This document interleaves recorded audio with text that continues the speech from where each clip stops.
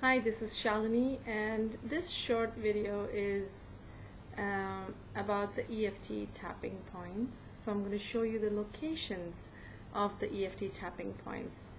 Now, EFT stands for Emotional Freedom Techniques, and if you want to know more information about EFT, uh, you can visit my website www.eftthailand.com.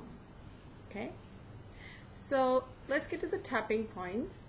So the first tapping point is called the karate chop point because that's the area that you would use to do the karate chop. And it's it's this point uh, from the base of the pinky finger down to the base of the hand. So this whole area right here. And you would use a couple of fingers two to three fingers and just tap lightly on this area. It could be anywhere in this area and you can do it on this hand or you can do it on the other hand. So either side doesn't matter. Whatever is comfortable. And that's the first point.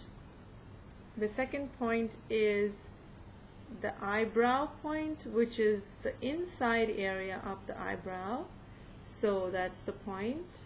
and you gently tap with a couple of fingers on that point like this Again, you can tap on the other side of the eyebrow, in the inner side of the eyebrow, just like that.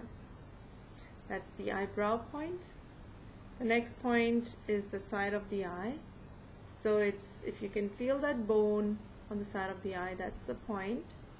And again, you just tap lightly this side or that side. Some people like to tap on both sides, doesn't matter doesn't really make a big difference so you could just tap on one side and that's okay. The next is the under eye point and it's uh, again the bone under the eye. Just tap lightly on this side or this side or both. The next point is the under nose point and it's just right there under the nose okay the next point is the chin point. And it's really not on the chin but it's that crease. So you just tap on the crease just like that. The next point is called the collarbone point. And if you see the collarbones there you know uh, it's just a drop just below the collarbone points. And the, these are the two points. And some people like to you know use both their hands and tap on both the points. I sometimes prefer to just make a paw and tap on both the sides. There are others who like to you know kind of slap across both sides like that. Whatever works for you. Okay? So that's the collarbone point. The next point is called the underarm point but it's not really underarm.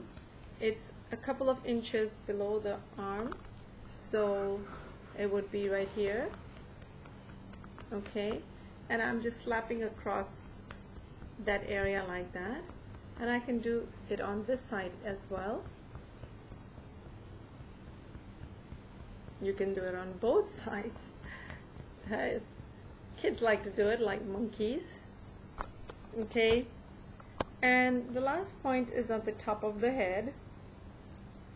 It's not in the front it's right here like if you were wearing a hairband that point right there that's the top of the head point.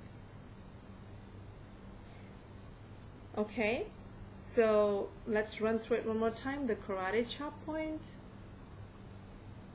eyebrow side of the eye under the eye under the nose chin, collarbone, under the arm, and again top of the head. Okay, and, and, and I'm sure you have questions like uh, how many times do you tap? Tap a couple of times, you know, five to seven times, could be more, doesn't matter.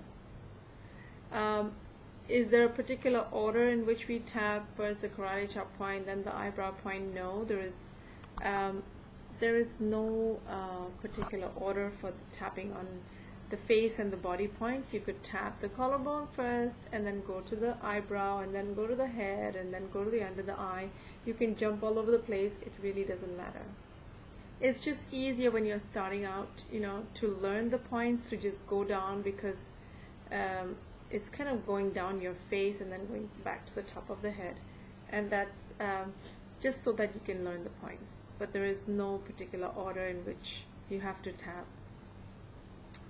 Um, what's uh, the tapping points are really important, but in EFT, what's equally important is to tune in to what's stressing you out and simultaneously tap on all of these points. Okay, so you want to tune into what's bothering you and tap. And if you'd like to know more about this process, the EFT shortcut tapping process, then you can tune into my other video to see how that's done. Okay?